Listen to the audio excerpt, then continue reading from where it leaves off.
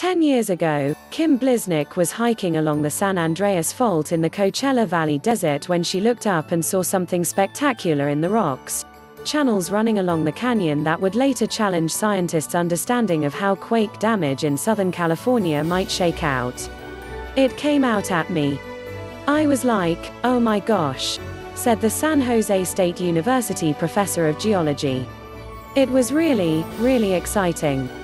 These channels indicated to Blisniuk that a part of the notorious San Andreas Fault in the San Bernardino Mountains called the Mission Creek Strand is moving much faster than previously thought. A rupture along that strand would potentially redirect damage created by an earthquake along the southern part of the San Andreas, which scientists say could happen any time.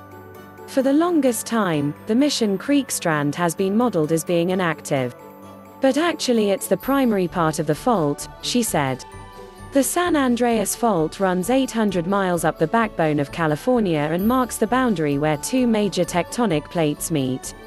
The fault itself is divided into northern, central, and southern sections, and each of those areas contain strands or parallel pieces of the fault.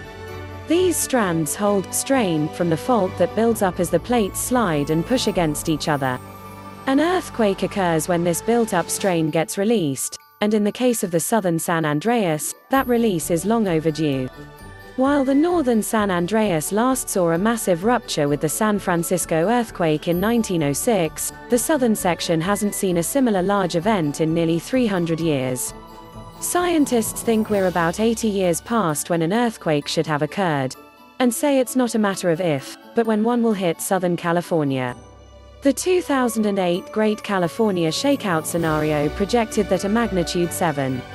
8 earthquake, about the same size as the 1906 San Francisco quake, would claim 1, 800 lives and cause $200 billion in damage. For the San Andreas, everything towards the west is moving north and everything east is moving south, said Roland Bürgmann, a seismologist at the University of California, Berkeley. The main fault's yearly slip rate, how fast the fault is moving, is 24. 1 millimeter. But it's not just the main fault line that causes worry. Along the southern end of the fault, there are several strands. For years, conventional wisdom was that the Garnet Hill and Banning strands, which stretch around the Coachella Valley and into the San Bernardino Mountains, held the most strain.